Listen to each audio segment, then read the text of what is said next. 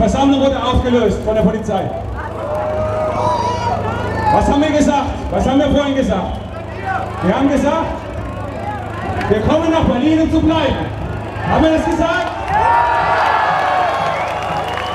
Man versucht jetzt, man versucht jetzt uns auseinander zu dividieren und die kleinen Gruppen zu zerteilen.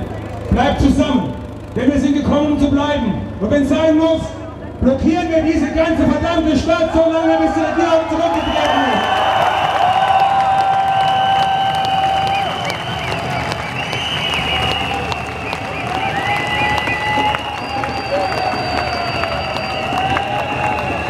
Und deswegen bitte ich euch, deswegen bitte ich euch alle, setzt euch hin.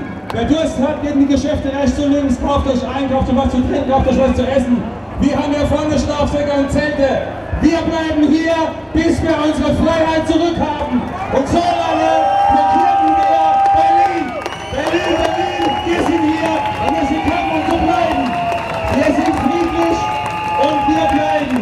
Und keiner soll friedlich mit schwach verwechseln.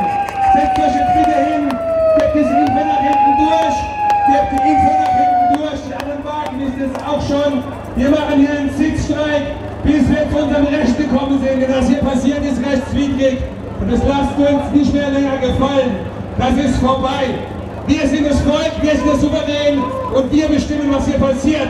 Und deswegen bleiben wir hier, blockieren Berlin, setzt euch hin, bis wir unsere Freiheit wieder haben. Schließt euch an, schließt euch an, schließt euch an, schließt euch an. Schließt euch an! Schließt euch an! Schließt